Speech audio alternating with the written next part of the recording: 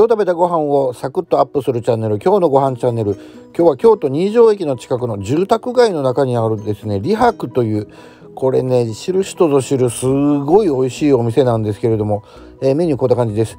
でとりあえず初めてなので刺身持ってくださいって言ったらもうこんな素晴らしいのが出てまいりました。もう油乗ってるのがもう分かるもうもりもりのやつですねこれね。えー、ご飯は食べてないのかなこれ初めてのとこやったから。もう刺身も間違いなくうまいです。このなんかトロみたいなところもトロでしょうねこれね。いやうまい。もうこの刺身見ただけでこの店のあれがポテンシャルが分かりますねでサバポテというのが何かなと思ったらこれポテトわざわざ1個ずつ揚げてですねスライスして、えー、大葉にバターに。でこのサバのこのねこれがまたうまいんですよ。しめ鯖なんですけどこれもめっちゃくちゃうまい。これね初めて食べたんですけどポテトもいい感じなんですよ。これはちょっとびっくりしましたね。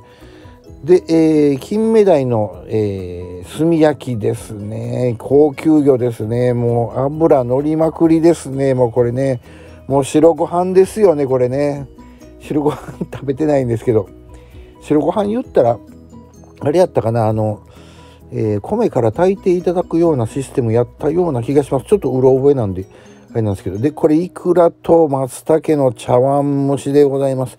もうこんな高級食材合わさったらこれ絶対うまいやつですね。これもう上に、えー、松茸が乗ってますよ。これ秋ぐらいちょっとだいぶ前なんですよ。秋ぐらいに食べたやつなので。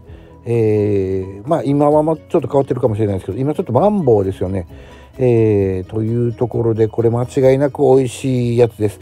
あんまりねこれも人に教えたくないなと思ってるんですけどちょっとアップしてしまいましたがいや本当にいい店でえっ、ー、とねあのカウンターだけなんですよもうあのカウンターだけで6席ぐらいしかないのかな。まあ、それでもね非常に美味しかったです。えー、ありがとうございましたマスター、えー、ということで、えー、リハクさんでございました。今日食べたご飯をサクッとアップするチャンネル。今日のご飯チャンネル。チャンネル登録よろしければこちらでお願いします、えー、朝毎朝7時にアップしております。7時です、え、いいねいただければ嬉しいのであのポチッと押しといてくださいませ。それではまた明日朝7時にお会いしましょう。ありがとうございます。いやここは素晴らしいお店でございました。本当に。